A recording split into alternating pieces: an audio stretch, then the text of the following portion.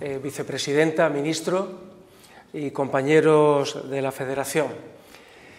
Pues una vez más le damos las gracias al Gobierno porque nos da la oportunidad a los entes locales de tener interlocución. Es la segunda vez en la semana que el Gobierno se dirige a nosotros y, por tanto, la gratitud de tener la ocasión de compartir inquietudes.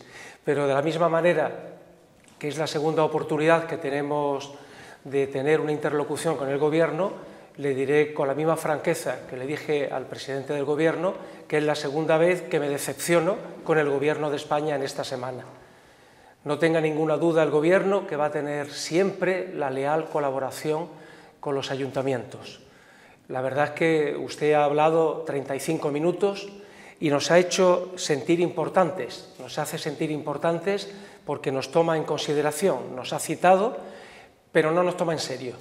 Nos hace sentir importante, pero no nos toma en serio, porque no se puede convocar a los representantes de 8.000 municipios de España para, después de 35 minutos, no concretar nada. Hemos venido con ilusión y con todas las expectativas a escuchar, a escuchar propuestas, a escuchar ideas, a concretar. Hemos venido a obtener respuestas. Lamentablemente, eh, lo digo con todo el respeto, eh, señora vicepresidenta del Gobierno de España, eh, lo que usted nos ha dicho y lo que los medios de comunicación llevan semanas diciendo se parece exactamente, por no decir que es lo mismo. Yo la verdad, eh, si al salir de esta reunión tuviera que explicarle a alguien de qué hemos hablado, yo no sabría qué decirle.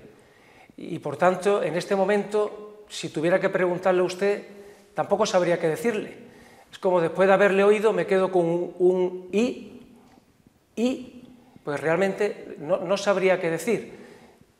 O sea, nos ha hablado de lo que ya sabemos todos. Y mire, eh, señora vicepresidenta, realmente los españoles tienen miedo, muchísimo miedo. Hay 47 millones de españoles que están angustiados por el presente, atemorizados por el futuro y que están absolutamente desesperados en lo moral y en lo económico y esperan respuestas.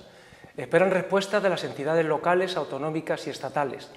Y los ayuntamientos vamos a tener total lealtad y vamos a aplicar con pulcritud, con toda pulcritud, las instrucciones que vengan del Gobierno de España, pero estamos precisamente esperando esas instrucciones. Mi intervención es breve, no tengo nada más que decir, pero realmente vine con muchas expectativas a esta reunión y me temo que si no hay algún tipo de concreción que yo puedo entender que no la haya, pero entonces lo que no entiendo es para qué se nos convoca. Todos tenemos mucho que hacer, usted todavía mucho más que nosotros. Yo le venía comentando a nuestro presidente de la Federación, Abel Caballero, que para que esta reunión fuera fructífera era interesante que ya existiese un documento de trabajo, que hubiéramos trabajado, elaborado y que sobre él pudiéramos avanzar. De esa manera las reuniones, las reuniones son positivas y son fecundas, pero ahora me quedo con los brazos abiertos y con la sensación que hemos perdido el tiempo todos. Disculpe, disculpe esta forma de decirle las cosas, señora vicepresidenta, pero es la segunda vez que en una semana el Gobierno de España me deja, eh, me deja absolutamente con una situación de, de preocupación, de desconcierto. Así que usted nos ha hecho importante llamándonos a esta reunión, pero realmente no nos ha tomado en serio, porque hasta el momento no nos ha dicho absolutamente nada.